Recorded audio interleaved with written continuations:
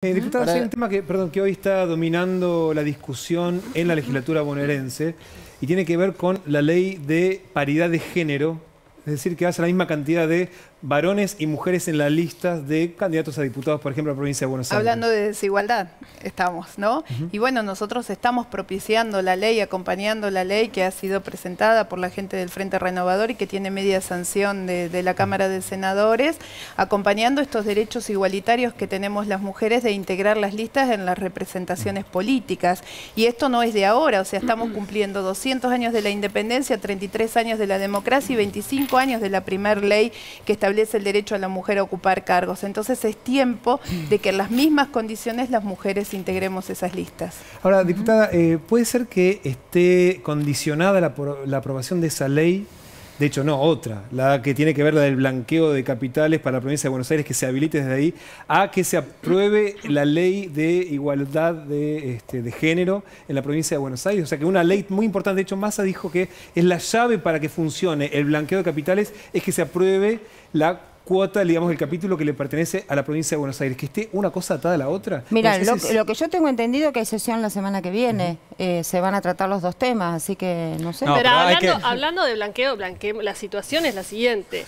Eh, Massa apoya esta ley de, mm, paridad, de, género. y demás. Es un proyecto emblema de Malena Galmarini, que se habla que posiblemente sea candidata el año que viene y condicionó, quería que se tratara hoy, el oficialismo no quería que se tratara hoy, hablé con... No, hoy no, ayer hubiésemos tenido sesión.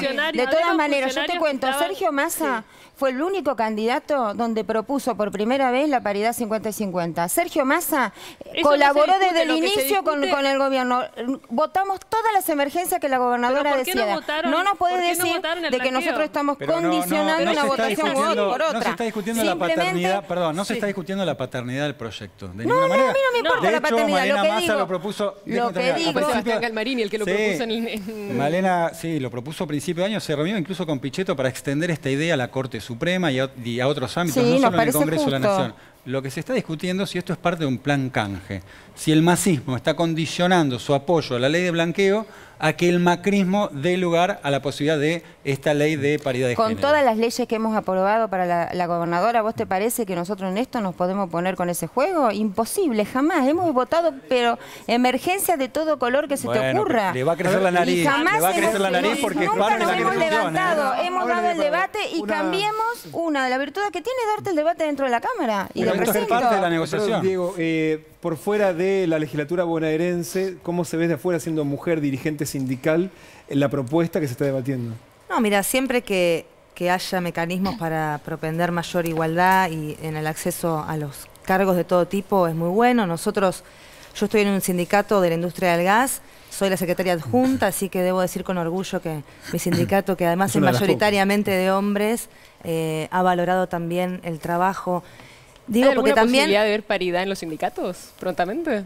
Mira, hay que ver porque también vos tenés eh, tenés algunos sindicatos que por la actividad que realizan Sí, pero muchos no. Tal vez tenés una cantidad de mujeres. Pero digo, me parece que es una cuestión, bueno, por ejemplo, es un caso. Me parece que es una cuestión interesante a, a, destrabar y todas estas cosas pueden ir ayudando, porque además no es que las mujeres debemos ocupar los lugares solo por ser mujeres, porque tampoco se trata de eso hay que reconocer que habemos innumerable cantidad de mujeres en un montón de ámbitos que la verdad pensamos, tenemos propuestas, militamos, actuamos y también, digamos, merecemos ser reconocidas en esos espacios que muchas veces se digitan eh, de forma machista, digamos, ¿no? Así que desde ese punto de vista, no solo nosotros estamos a favor de que estas cosas se desarrollen, sino que en el caso por lo menos de mi sindicato es un sindicato que ha dado bastante lugar a esto, ¿no? Jimena, muchísimas gracias por haber venido. Por favor, ¿eh?